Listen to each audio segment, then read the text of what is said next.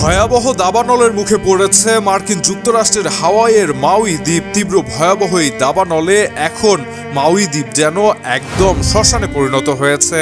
হাওয়াইয়ে ভয়াবহ দাবানলে মৃতের সংখ্যা বেড়ে দাঁড়িয়েছে, অন্তত একশো ছয় জনে। এই সংখ্যা আরও বাড়তে পারে বলে আশঙ্কা প্রকাশ করেছেন উদ্ধারকারীরা।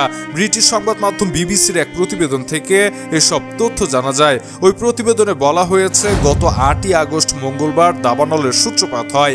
এখনও সঠিকভাবে জানা যাচ্ছে না আগুনের প্রকৃত কারণ কি। একই সঙ্গে চারটি দাবানল সক্রিয় হয়ে পড়ে ওই এলাকায়। এদিকে এই দাবানল নিয়ন্ত্রণে হিমশিম খাচ্ছিল হাজার হাজার দমকল কর্মী। তীব্র গরম আর দূরবর্তী এক ঘূর্ণিঝড়ের বাতাসের কারণে এই দাবানল ভয়ঙ্কর রূপ ধারণ করে। স্থানীয় কর্তৃপক্ষ জানিয়েছে, এখনও প্রায় তেরোশো মানুষ নিখোঁজ রয়েছে। পরিস্থিতি সামাল দিতে তৈরি করা হয়েছে অস্থায়ী একটি মর্গ, রাজ্য গভর্নর জস গ্রিন বলেছেন।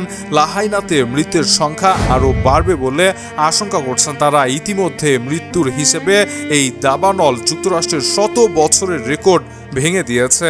মাউই পুলিশ জানিয়েছে, হিমায়িত কন্টেইনারের মাধ্যমে অস্থায়ী মর্গ তৈরি করা হয়েছে।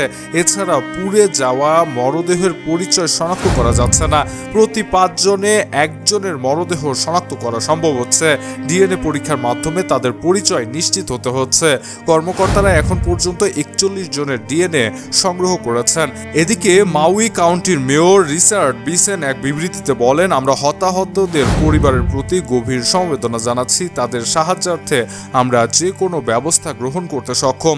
দর্শক, আন্তর্জাতিক অঙ্গনের এমন আলোচিত খবরের ভিডিওগুলো সবার আগে পেতে এখনই সাবস্ক্রাইব করে রাখুন ইবিডি নিউজে সেই সঙ্গে আমাদের ফেসবুক পেজটিতে ফলো করে দিতে ভুলবেন না। কথা হবে পরবর্তী ভিডিওতে। সে পর্যন্ত ভালো থাকবেন। ধন্যবাদ।